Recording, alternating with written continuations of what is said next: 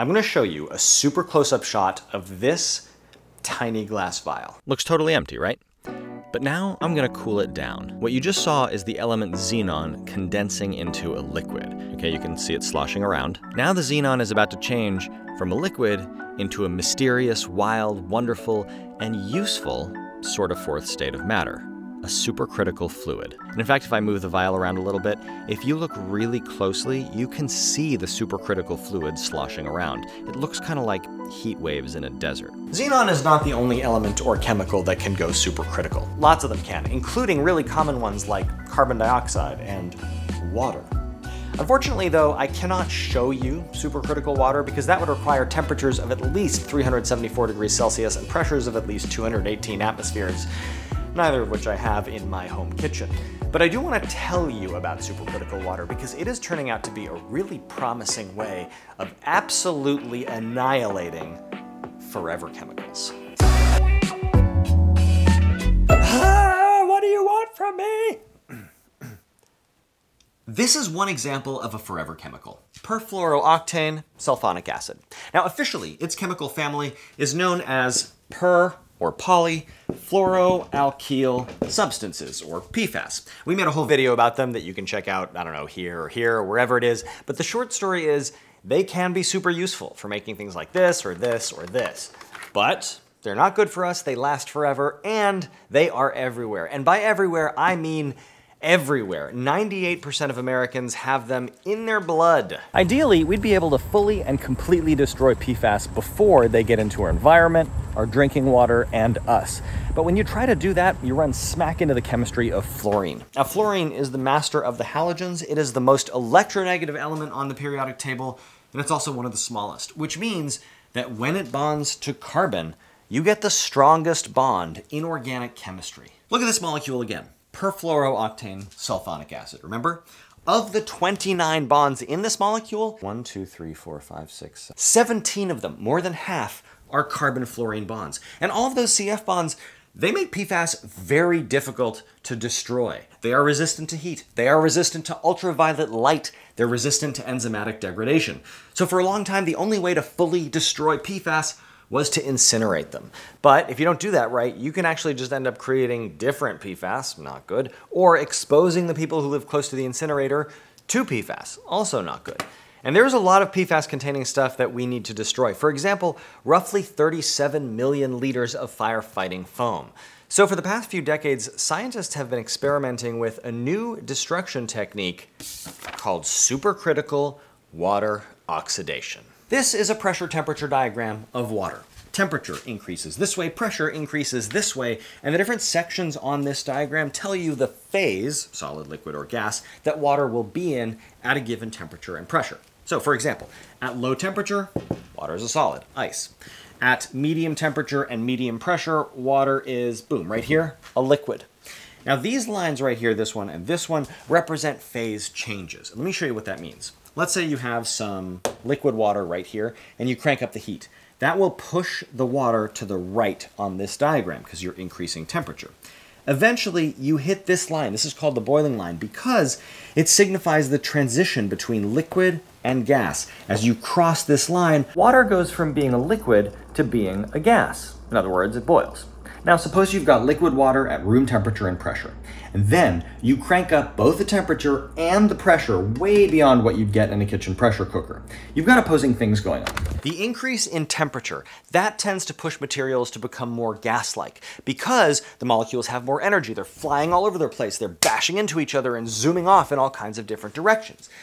But the increase in pressure, it wants to do exactly the opposite of that. It wants to crush molecules together, pushing them to become a liquid or a solid. And at some point, the water is like, ah, I don't know what you want from me, and it becomes kind of a distinct fourth phase of matter almost. It's not a liquid, it's not a gas, it is in between, it is both. It's called a supercritical fluid. Going supercritical can completely change a substance's properties. For example, water. At room temperature and pressure, water is a liquid with a viscosity of about 0.009 pascal seconds and a density of about 1 gram per milliliter.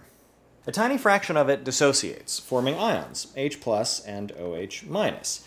And water is also polar, meaning that every molecule has an excess of electric charge on one side of the molecule. Now those two properties make water excellent at dissolving salts, like table salt. But they also make it terrible at dissolving things like oils, gases, and many organic compounds. Oil and water don't mix. But when water goes supercritical, its density drops by two thirds. Its viscosity drops by 95%. It stops dissociating into ions and it starts acting as if it were a nonpolar liquid. Water changes its personality completely. So salts, for example, don't dissolve in supercritical water at all. But nonpolar molecules like gases, aromatic compounds, oils, they do. You know what else does? PFAS does. Dissolving PFAS is an excellent first step to destroying PFAS. And the second step is to burn them. But I don't mean burn them, burn them. Now, normally when you think of burning, this is what you think of, a combustion reaction. And combustion reactions are burning, but there are other kinds of burning too. In fact, combustion is just one subclass of a much larger class of chemical reactions that are called oxidation reactions. Oxidation means what it sounds like, combining with oxygen. Although if you want to get super technical, you can actually have oxidation reactions that don't involve oxygen at all, but that is a whole other video. This avocado turning brown, for example, is an oxidation reaction, but not a combustion reaction. Now, oxidation reactions can be really useful if you want to completely destroy an organic molecule. Why?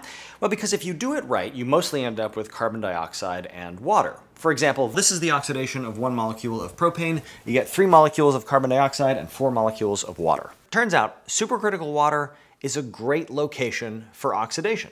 Why?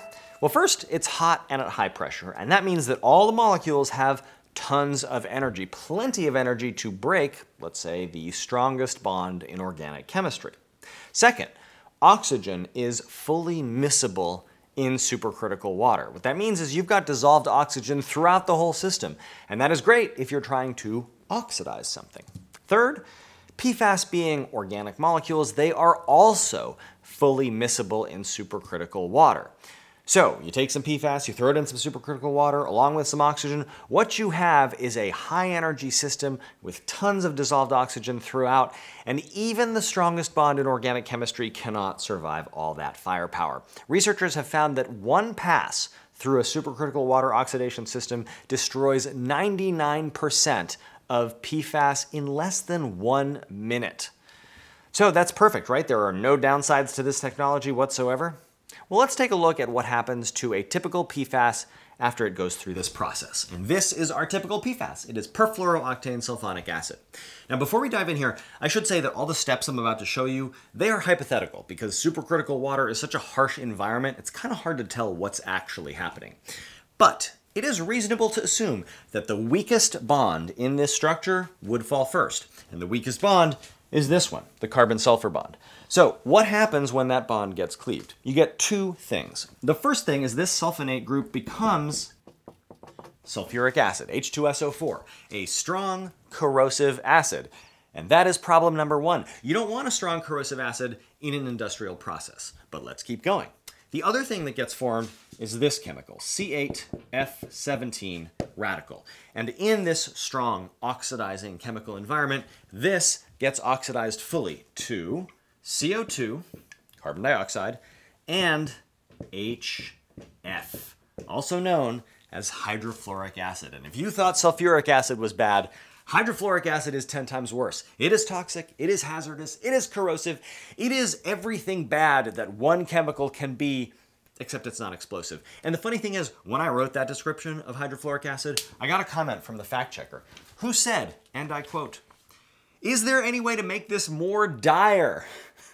HF is the thing I still have nightmares about. It's not just that it has these characteristics, it's that the fluorine takes it to the nth degree. And then, in all caps, it will literally eat your bones. So yeah, I didn't sensationalize HF quite enough. The third downside is that it's expensive. It takes a lot of energy and therefore money to get water into a supercritical state. Now dealing with the first two downsides is actually fairly simple. All you do is you take a base and you add it to the reaction mixture. And what that does is it neutralizes sulfuric acid, hydrofluoric acid, any other acids that may be present. Now, as for the uses too much energy downside, Look, that one is unavoidable, but really what it means is that we're not going to be using supercritical water oxidation to get rid of every type of waste that's out there. We're going to be using it selectively on things like PFAS, or dangerous wastes that can't be incinerated like chemical weapons, or environmental toxins like PCBs. So, is supercritical water oxidation the solution to our forever chemical problem? I mean, I sure hope so. What's not to love? It's super, it's critical, it's water, and you're burning stuff. We should do supercritical water cremation. No, we should not. That is a bad idea.